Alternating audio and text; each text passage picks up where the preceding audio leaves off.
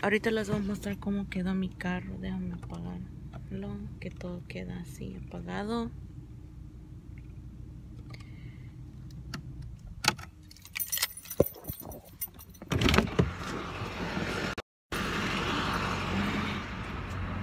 Mira cómo quedó todo.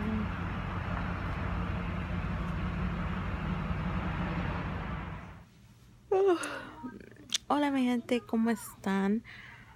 Hoy es martes 17. Aún no tengo carro, apenas fui hoy. Está pasando muchas cosas con el carro. El parte que ordenaron no quiere quedar al carro y no sé si me, se va a salir el carro hoy, a tal vez mañana, no sé. Y me están cobrando más dinero de lo que yo pensaba y se quebró otra parte que no tenía que cambiar y ah, nomás es todo un dolor de cabeza.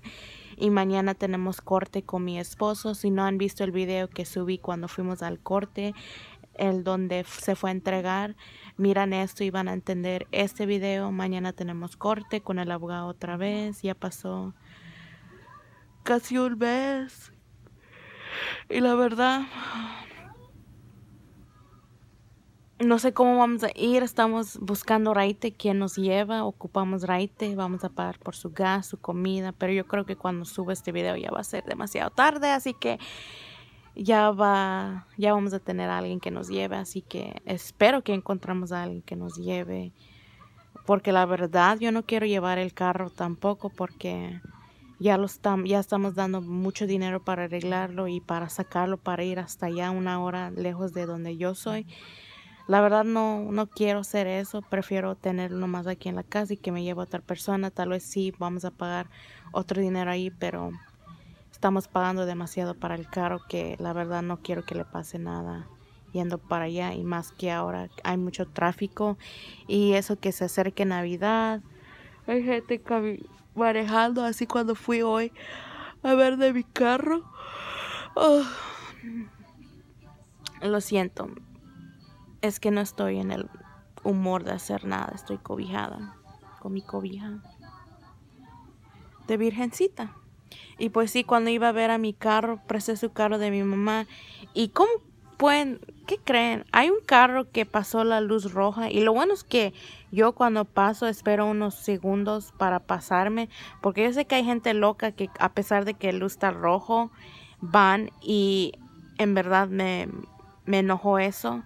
Y pues esto va para ti, la mujer o hombre que estaba manejando. Y qué tal hubiera yo chocado, qué tal hubiera yo accidentado. Y el carro no es mío, así que no toda la gente tiene dinero para tener seguridad así, full coverage. Así que en verdad eso me, me molesta, así que andan con cuidado.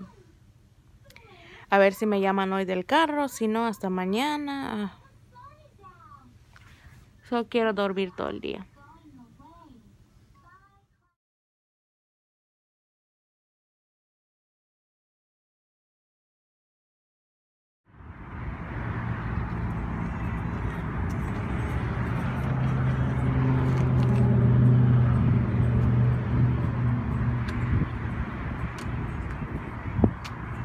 aquí levantando el carro salió pero aún no quedó bien el trabajo hay unas partes que, que, que falta y tenemos que volver a traer nuestro carro otra vez. Espérame un momento. ok, gente, hoy es el día siguiente, hoy es jueves. estoy en la casa. Mi hijo está enfermo. No estoy en mi casa, pero estoy en su casa de mi mamá. Y ya se fue mi esposo a trabajar hoy otra vez. Pues ayer era miércoles, su día de, mi, de su corte de mi esposo. Y salió el carro el mismo día. Y no quedó, como dije, como les dije antes, el carro no quedó como queríamos.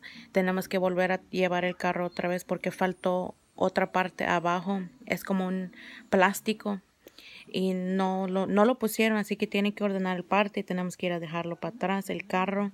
Y encima de eso, el señor que arregló el carro nos dijo que aún falta, aún falta otras cosas abajo del carro que no habían allí desde el principio y no es necesario ponerlo, pero nosotros pensamos que mejor lo pongamos para estar así en el lado seguro y es lo que vamos a hacer y ah, no nomás eso um,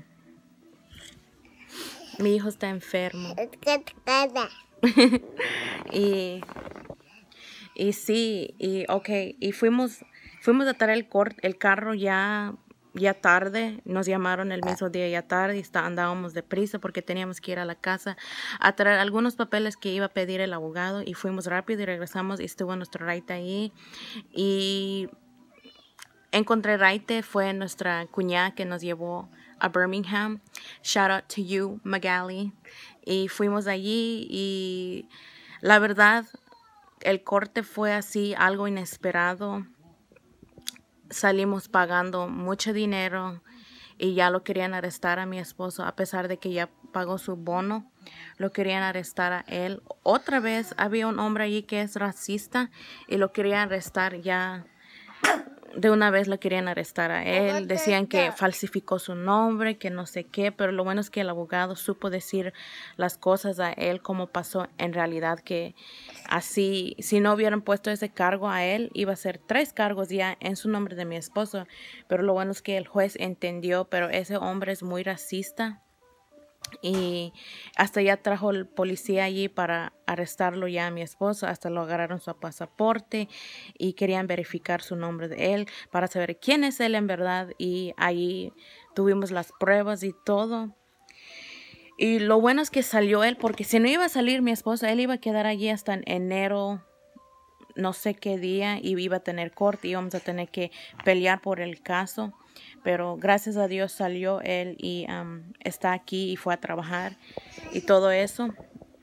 Pero sí dimos un dinero, un buen dinero, pero prefiero dar el dinero que tenerlo ahí encerrado porque es mi esposo y él es el que nos mantiene y todo y mis hijos no pueden vivir sin sus papás y yo tampoco no puedo vivir sin mi esposo así así que gracias a Dios salió todo bien en su caso. Ahora lo que vamos a hacer es mandar la petición esta semana y ver qué nos van a decir cuando reciben su petición de mi esposo y ahí les voy a contar cómo está pasando todo. Y sí, espero que todos tengan un bonito Navidad. Ya se está acercando Navidad. Espero que lo disfruten con su familia y todo.